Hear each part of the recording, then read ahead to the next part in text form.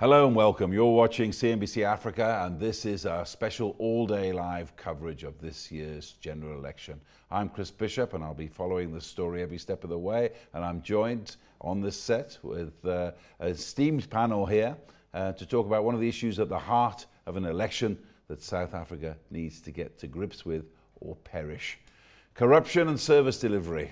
Too much of the former and too little of the latter are eating away at the gains of a quarter of a century of freedom and democracy. The cost of living with corruption and lack of service delivery means higher risk and costs for business as well as misery for a lot of people. In the studio, I have to take this debate further with uh, David Lewis, the Executive Director, Corruption Watch, and Professor Tuli Marunsela, Stellenbosch University's Chair for Social Justice, and Professor Nania Botla Mula, uh, Professor of Law at the University of Fort Hare. If I can just uh, start out with Hugh uh, Tuli Maroncella, I mean, you're the former public protector. You uh, made a, a life out of uh, chasing down corruption in this country, often at uh, great risk to yourself.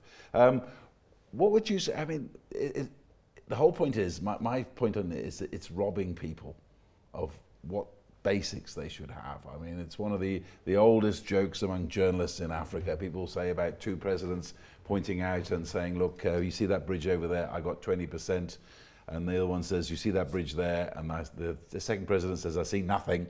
And they say, oh, I got 100%, you see. Uh, but I mean, ultimately, um, you know, it's robbing basics from the people, taking uh, services from uh, the very mouths.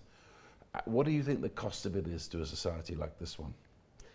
Well, thank you, Chris the cost of corruption is huge. Um, it is, firstly, it undermines social justice because it creates a, a, field that is not level. The corrupt get opportunities they don't deserve. They also might not even be prepared to deliver.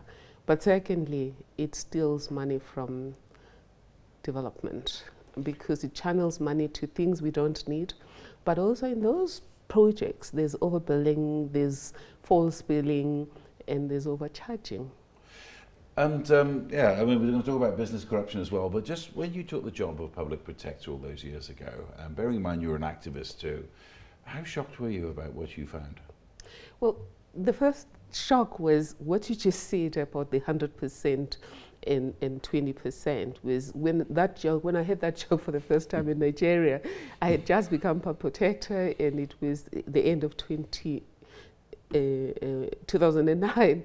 And then when I, and then I laughed and I thought, no, this could never happen in mm. South Africa. And there I was. I mean, I wrote the report, or my team and I wrote the report, Pipes to Nowhere, because there were no pipes. And somebody could have seen that there were pipes to nowhere in Nala Free State. When they signed off, then they paid for a project that was supposed to deliver a, an end to the bucket system. So you pay somebody, but you're still stuck with the budget, uh, bucket system. In Northwest, we came across a situation whereby somebody delivered only the, the show house, having been paid 400 million for an RDP settlement. So, so those are the things that shocked me because I thought, yes, we do have corruption and we've always had corruption in this country. Nelson Mandela or President Nelson Mandela spoke about it and what he expected us to do was to end the existing corruption instead of perfect it. And sadly, but what shocked me also was a little bit of indifference by people who should have come to the party to support me. And I think the governing party during my time dropped the ball big time. Some of the opposition parties, at least, uh, uh, played some role. The governing party dropped the ball then, and and I'm hoping you know the new dawn means we never again look the other way when we see wrongdoing uh, David uh, Lewis of Corruption Watch. I mean, state uh, corruption is a lot of it's been dealt with at the uh, state capture inquiry, and what have you, but it's only half the story. Um, often you can have endemic in the society business corruption as well. Um, what evidence have you found that, of that in your work? You know, we're asked about that a lot, and I think I think it's a bit of a red herring, to be perfectly honest. I mean, cor corruption, most corruption, overwhelmingly the majority of corrupt conduct happens at the interface between the public and the private, whether that's a, a driver and a traffic cop or a CEO of a multinational corporation and a minister. The public, it's at that interface that corruption happens. And so, you know, if you asked uh, Cash Paymaster Services, McKinsey, KPMG, Bosasa, whether they thought that there was a focus only on the public sector mm. corruption in this country, they'd tell you probably that they thought the only focus was on the was on the on the private sector. I mean, the reason why the public sector tends to get focused on to a greater degree is because we, the public sector, belongs to us. Mm. Exactly. We elected exactly. public mm. representatives who appointed public officials and who one of whose major tasks is to regulate extremely powerful private interests, mm. like the private business sector. And it's when they get into bed with them that you have a problem. When that interface mm. becomes blurred, mm. that you have a problem.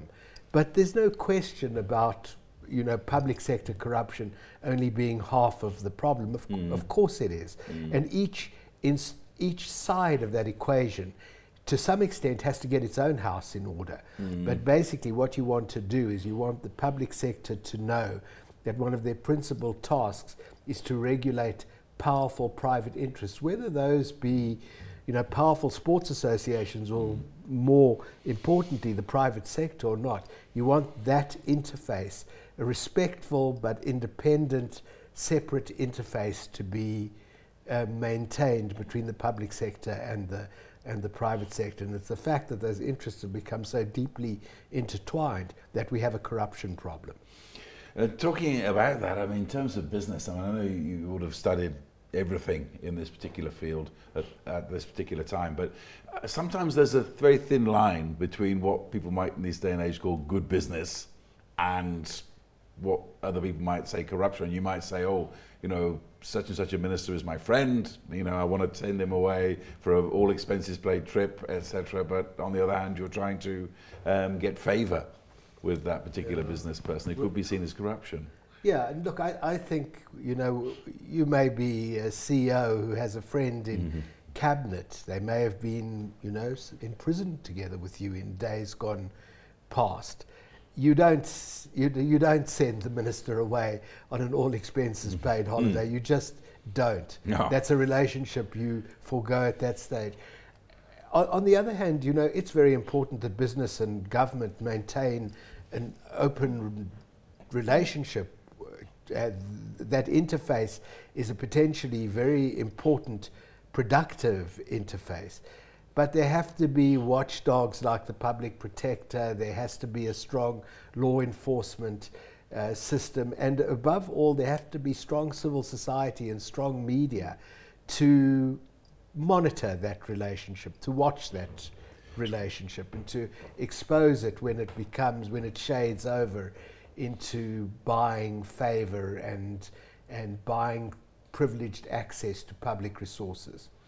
I mean, one thing I want to come for a legal um, point on this, a quick one. Um, I mean, surely in, with technology advancing the way it is, it's easier than ever to keep a tab on corruption on anything in business at the right now. Because I mean, even look at my, ourselves or myself, certainly you could go forward and uh, you could see exactly what I've done, what I've spent, where I've been in the last two weeks, no problem, because it's all there on record. Just a, a quick one. I mean, shouldn't it be easier now?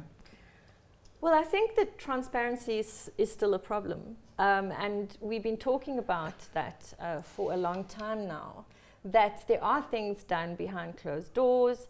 Um, there was Saxonwold, you know, not everybody had access to Saxonwold, not everybody had access to what was um, being said there. So even though we have a situation where technology is, uh, has developed to a certain point, we also can manipulate technology. Um, and so transparency is still not where it should be.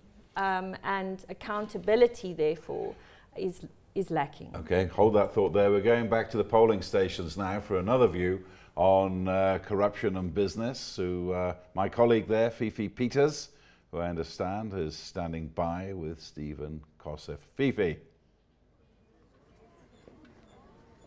Yeah, that's right, Chris. I am standing by with the ex CEO of Investec and a current executive director. Actually, he sits on the board of Investec. In fact, he also wears the hat of the chairman of uh, of uh, Bidvest. But we Bidcorp, there you go, Bidcorp. But we are he's you know you know Stephen. He's he's not one to to be shy. Stephen, the conversation is about corruption in a business and uh, quite topical right now, given that uh, we finally got that uh, annual results statement out of Steinhoff coming out yesterday. Yet we haven't really seen any action being taken on those who are involved in that scandal. Your views on corruption in business and how, as we enter another administration, we fix this? Look, I think the first thing is we have to have capacity in the prosecuting authority to deal with corrupt crimes of that kind of nature. They're complex. Uh, these are very clever people who devised uh, very devious schemes to make something look like it's not. And uh, I think that until you start putting people in jail, then they'll know they can't get away with it. And it's not put, putting in, you know, um, some of the ineffective people in jail. They are leaders of these processes, and they need to put, be put away. And I think that until we start doing that as a country, and that's probably what frustrates a lot of people, is there, there is, has been no consequence for corruption generally for a long period of time. And I mean, I think many people are hoping now that with um, the, the, the, current SARS Commissioner, Edward uh, Kieswetter, who yeah. was quite instrumental in heading up that illicit um, financial flows unit in his previous time at SARS, that we could see, you know, more of that kind of behavior being being being curbed. Yeah. But uh, to talk to me a little bit, uh, Stephen, about what, what motivates it. I mean, we look at you business people, you've got the money, you've got the, the lash houses here in Houghton. I mean, what motivates such corruption? I, I think, uh, you know, there, there, there will always be a percentage of people that are inherently corrupt. That's it. Now, the consequences of corruption will determine whether they commit a corrupt act, the governance and the processes around them. Uh, so sometimes in business you'll have a very charismatic leader, and that very charismatic leader will, you know, rule by fear, very autocratic, um, and uh, you know no one challenges. So people in organizations, the culture of organizations are exceptionally important so that there is a question, there is challenge, there is governance. Those processes become very, very important because if you corrupt at the top, then it starts filtering all the way through, as we saw with our country. So, uh, you know, it, it, there are people who will be inherently corrupt. Yeah. It's just a question of whether they're activated. In fact, we brought a guy to one of our conferences um, a few years ago, a guy, Ricardo Semler, Brazilian, and he said, 10% of people are likely to have some form of corrupt or dishonest tendency. That's now, they won't all activate it. Yeah. But, and that's what he's saying is the factory setting of a human being. Right. I mean, Stephen, in terms of uh, uh, the corruption, it looks like an, an, unfortunate culture that has been allowed to grow in South Africa, and I'm in, uh, uh dealing with it currently, we do know that uh, President Ramaphosa is going to win. Um, uh, quite questionable, the uh, people, a few people that he did mention that would join him on his cabinet, people who have been uh, alleged to have been involved in corrupt activities. So you've got a government that right now isn't working hard on holding those who are corrupt to account. Therefore, I mean, do you trust that it's going to be any different in the next five years? I'm hopeful. I think that uh, what we've seen since uh, uh, President Ramaphosa became president, he has appointed uh, you know a number of commissions. Uh, I understand he's created a special court to deal with some of these charges, very. Uh, in a, a, a, speedy way. obviously, he's appointed a new public prosecutor. I'm hopeful that um, she appoints strong people to operate with her and that she starts taking action against corruption because the only way you really kill it off is if people understand that there's a consequence. Mm-hmm. And uh, it really is very, very important to start taking action and putting people away. And I think that's that, that that's the difference that we, as members of our society, want to really see. So the president looking to raise some 1.2 uh, trillion rands in um, investments in South Africa over the next five years. To what? Is it? Is it? 1.4 trillion. Oh, I forget that you're a man who operates and is used to operating in multi currencies. Um, let's let's do your dollars. Um, how how confident to what, to what degree um, will cultivating a culture in which corruption is not tolerated, in which there is accountability, whereby business people and government officials go to jail, help the president in getting more money into this country? Uh, no, certainly it helps because people want to know that when they invest, they're going to get their money back or that their property rights are secure and that uh, the environment is conducive to investment. So those are very important aspects. Obviously, we need a business-friendly environment because if we don't have a business-friendly environment, then we're not going to get the kind of investment he's looking for because people want growth. It's no point us growing at uh, below one percent per annum. In fact, growth the lack of growth in the last nine years or ten years has really cost our society dramatically. If you take what it's cost us in terms of GDP, uh, it's over a trillion rand. What does that cost Tito in terms of revenue? 280 billion. His deficit was 250 billion. Can you imagine what he could have done with the extra money to help deal with the kinds of issues that we have with infrastructure, with delivery of services, with all those things? So you need an economy to grow. A growing economy that generates GDP, creates jobs, and enables government to get capacity to deliver services. So those are our challenges as a society. Sure. And we have gone down the wrong road. We have not been business friendly. We have too many regulations that are anti business, too many processes that are anti business, and we're not going to create jobs unless we're business friendly. You can right. forget about it. All right, so when you as- start as- talking about land without compensation and all those kind of things, there are other ways to do it.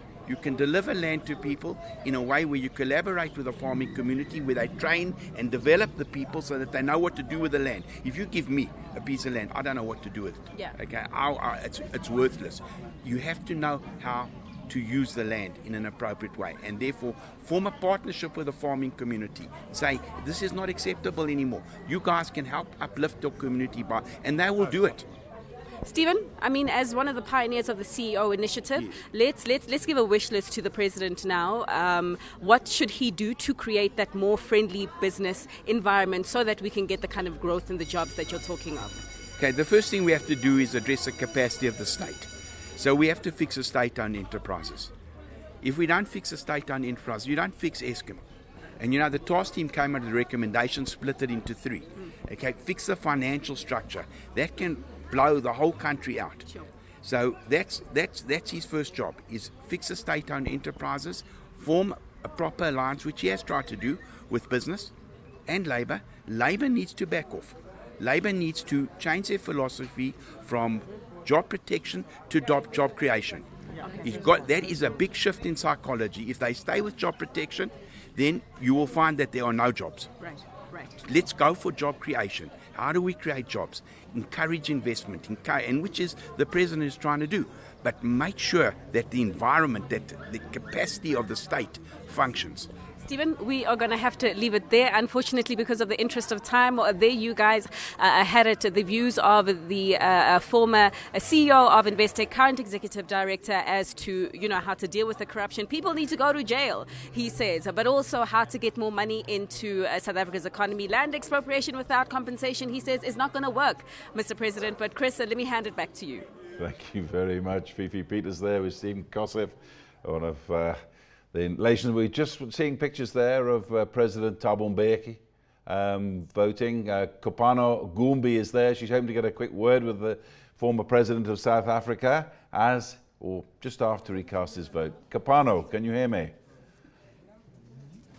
Yes, Mr. Bishop, I hear you well. Can you hear me? Indeed, we can. So just tell us what's happening. We're seeing the pictures. We don't Great. quite get the context at this stage. There is a there is a flurry of excitement. President, former President Thabo Mbeki just walked in to the voting station today. He likes to walk from his home, which is nearby, um, and cast his vote. So he's come in, and there's a lot of excitement. He's just putting his mark on what we assume is his party, ANC. Um, and we hope to get uh, five minutes with him just after he's finished voting here. We'll be crossing back to you to give you more with the former president himself. Okay, that's Kopano Gumbi there with the former President Thabo Mbeki. Let's continue our discussion here. We'll go straight back if he decides to give us a few words after casting his vote. Um, well, you heard that, Dave. what did you think? Um, saying that people at the top should be the ones who should be thrown inside, but I don't know. I mean, I know Fish rots from the head and all that sort of stuff. But on the other hand, I mean, a good example for you is um, in Kigali from our, our bureau there. They tell me that when you get a traffic policeman, he'll give you a severe wigging, but he won't give you a ticket unless he knows he's, he's going to find you because once he's done it, it's his responsibility. If he tries to make the ticket go away, he knows he'll be fired and perhaps put in jail even for corruption. What, what do you think? Should it be at the bottom or the top or right the way through? Well, you know, I think it has to be right the way through. But, but I think right now in South Africa, the, the litmus test for whether government is serious about tackling corruption has become whether named people, mm. well known people, are investigated, prosecuted, and sent to prison. And, you know, I know that that's not easy to do. I don't want the sort of scenario which I think so too many people envisage that the president will now order the NPA to prosecute Mr. X or Miss Y. That's not what an independent mm. prosecutorial authority is about. Mm-hmm. But it is absolutely imperative that in the first year of the new administration, which I presume will be a Ramaphosa administration, mm. that there be serious people who we all know politicians, business people, public officials. It's absolutely imperative.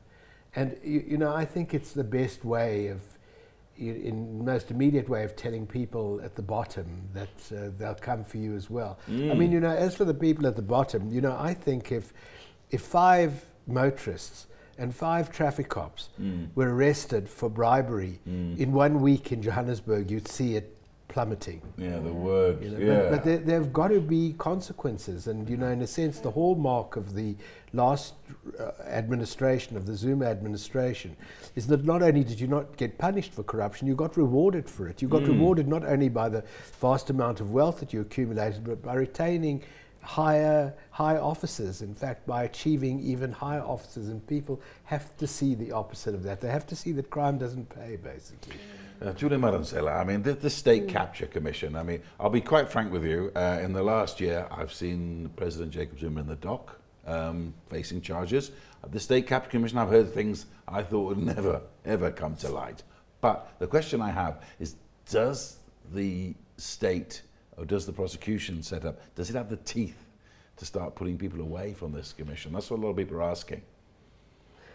I believe that the NPA does have teeth to start prosecuting people.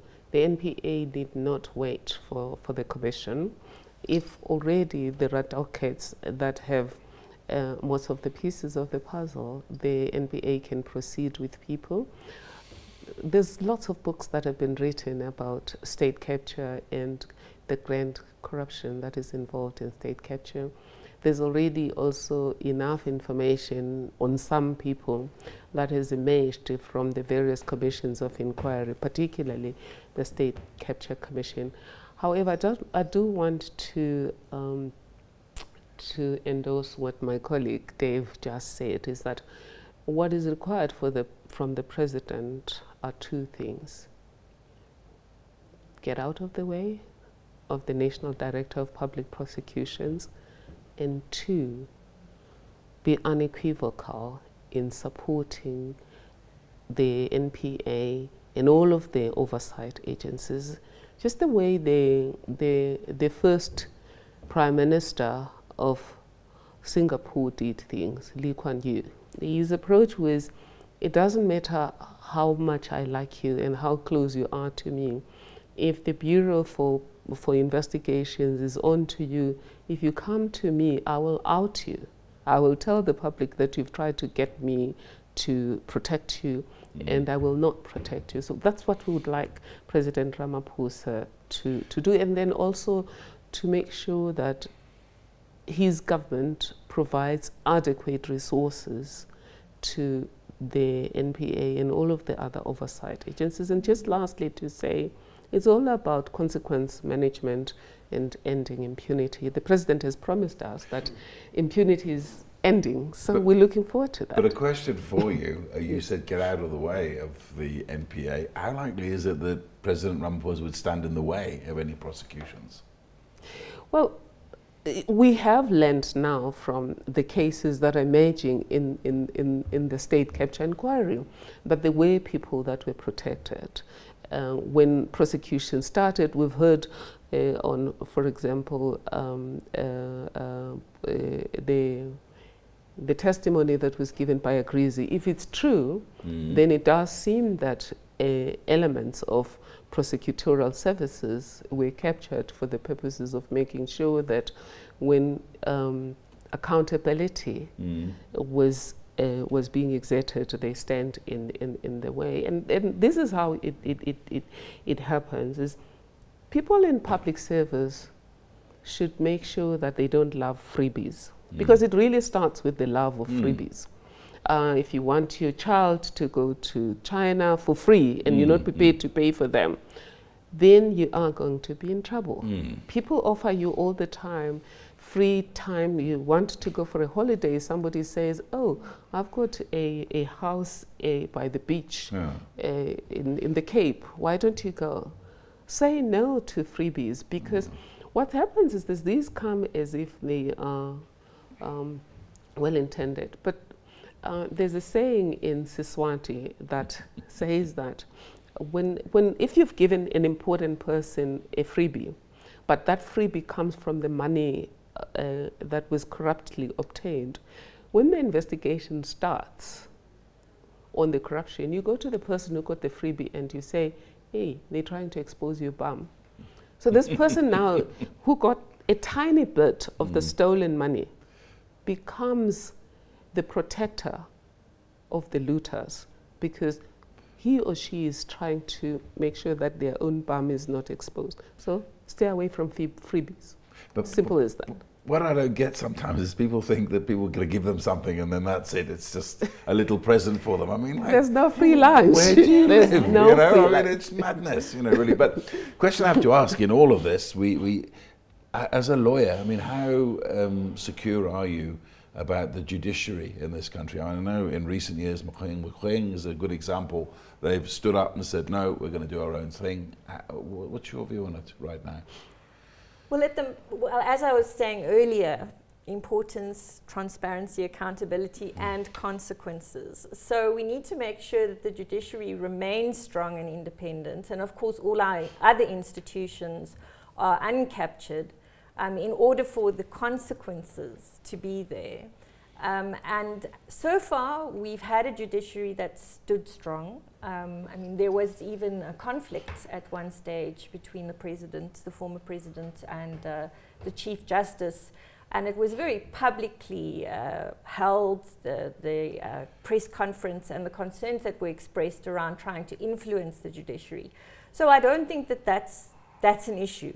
Um, but I think that uh, consequences uh, should be uh, there. And in fact, every single main political party has this in their manifesto that we need to deal with corruption um, and that there should be prison sentences imposed. I think um, the EFF talks about uh, 15 years imprisonment, the DA talks about 20 years imprisonment in their manifestos, um, as well as the protection of whistleblowers.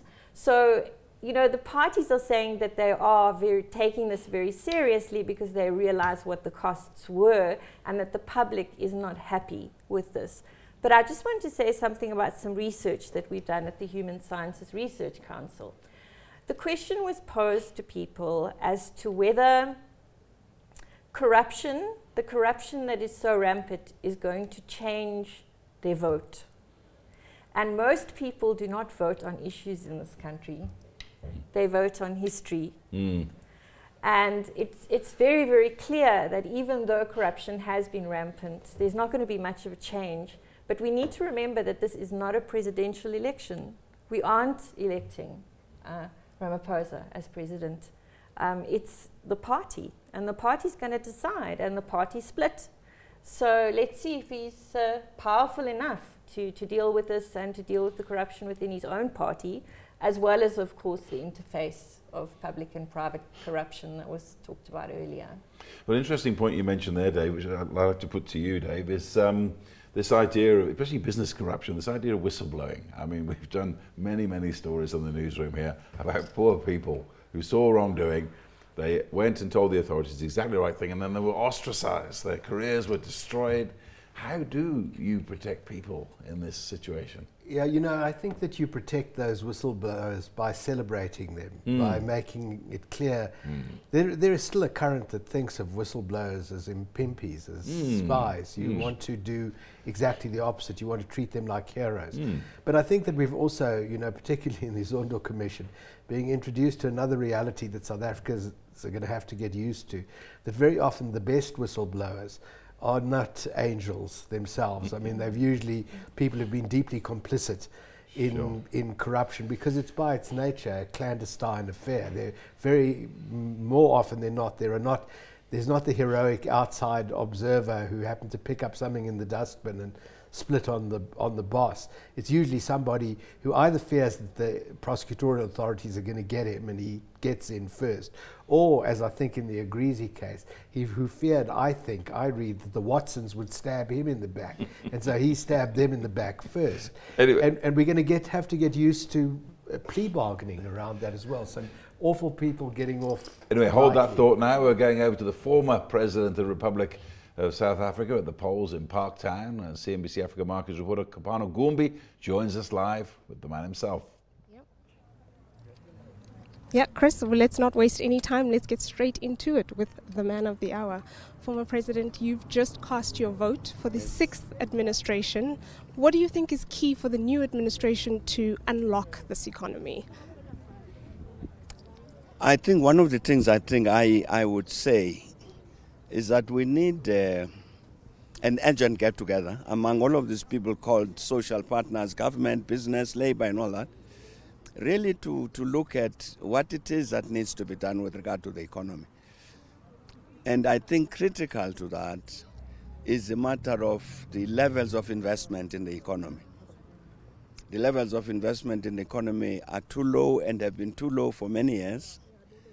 And without that, that investment, we're not going to get the growth levels that we're, we're talking about. But it's a challenge, that issue, to, to everybody. It's a challenge to people who've got the investment capital to say, why are you not investing? Because I don't think they are investing adequately. There's a problem about that. To say that even, uh, even if they do invest, there's an issue that will arise which is do you have the skilled workers that would be required in terms of the jobs that would then be created?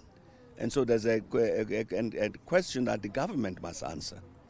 What is it doing with regard to making sure that the skills, the skills that are required are there? there are other matters that are very important in this regard because we've got a very open economy. And therefore, the question about research and development in terms of competitiveness becomes important. We may very well build a new factory tomorrow. If it is not keeping up with te- technological development globally, it's not going to be able to compete. When people talk, for instance, about de- deindustrialization uh, in South Africa correctly, and part of the reason for that is because the manufacturers, including government, did not pay sufficient attention to this matter of technological development. So you are able to produce shoes, sure, but because somebody else elsewhere in the world has attended to the matter of technological development, their shoes outcompete your shoes, and your factory will close down. So I'm saying even that matter about research and development becomes part of this question. I'm, I'm, I'm laying down an agenda for the economic conference that I think we must have.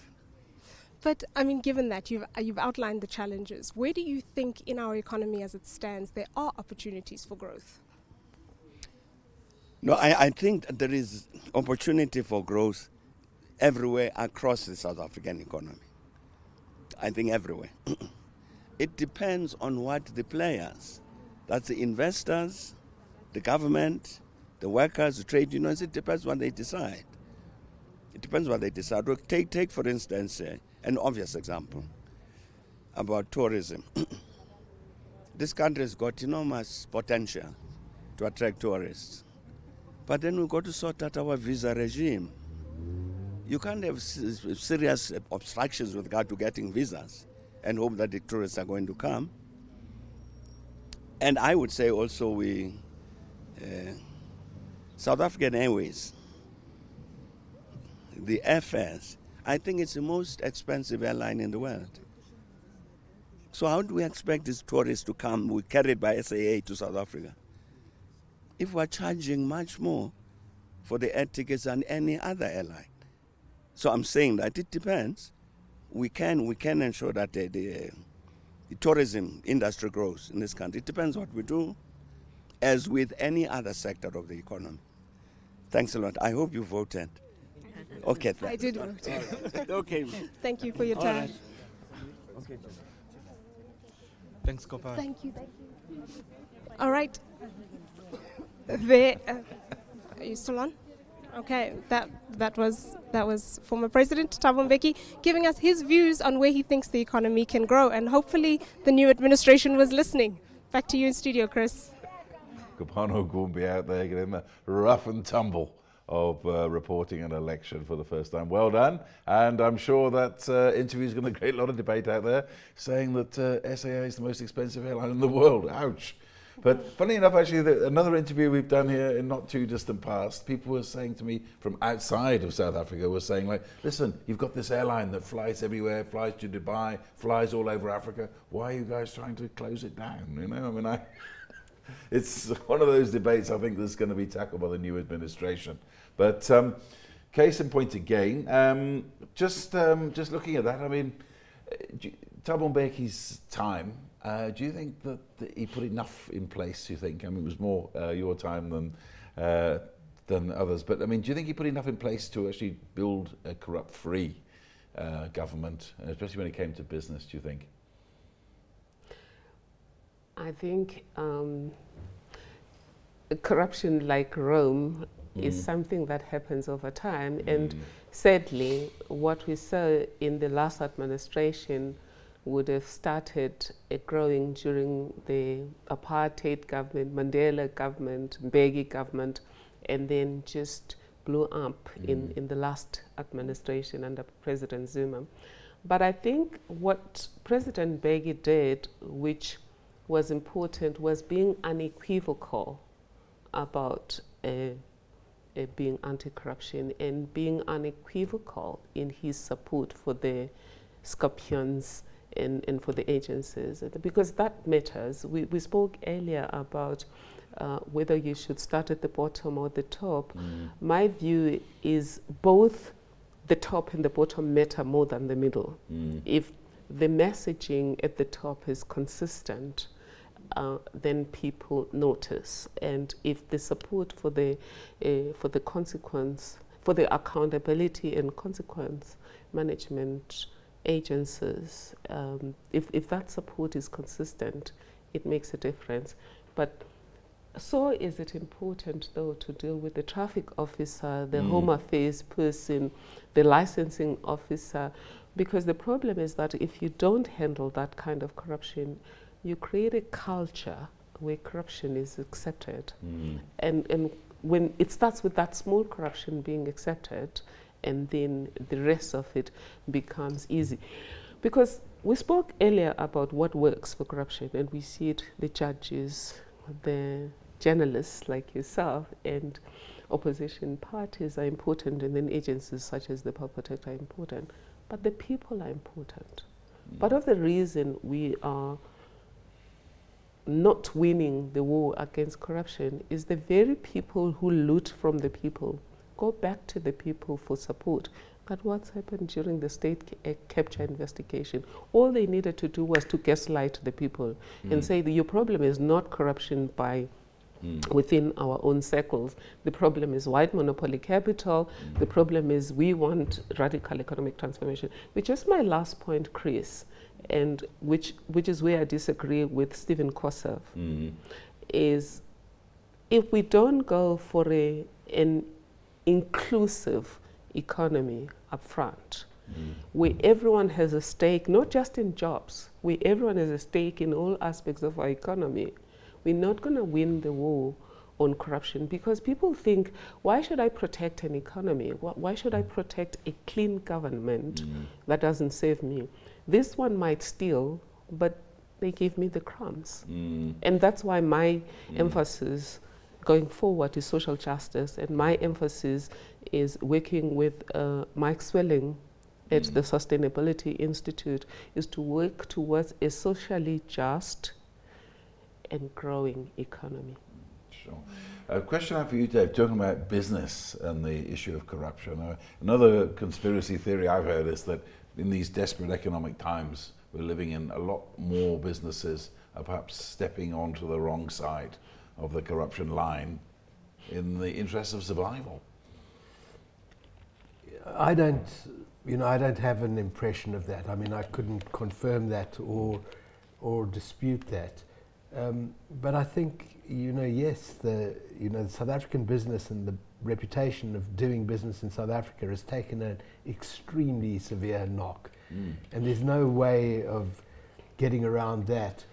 But for business to start playing a much more active role, not only in getting their own house in order, but in getting their own society in order. Mm. Mm. And, mm. and they're going to be challenged in doing that. Mm. There's a great deal of distrust of big business in, in, in the country and they need to do it. And you know, I have to say that one of the ways in which they should think about doing it is by willingly and publicly cooperating with institutions like our own. Mm. I mean, we are not natural allies, business and ourselves, mm. you know, just from personal style and mm. everything. But it would make a very important statement mm. if they worked together with others who are not only interested in getting a narrow little, getting your compliance programs in place, but we're getting but, we're, but we're, we're, about improving the environment in which we all live and in which we do business. And I think that's going to be a really important nettle for business to grasp. At the end of the Zuma administration,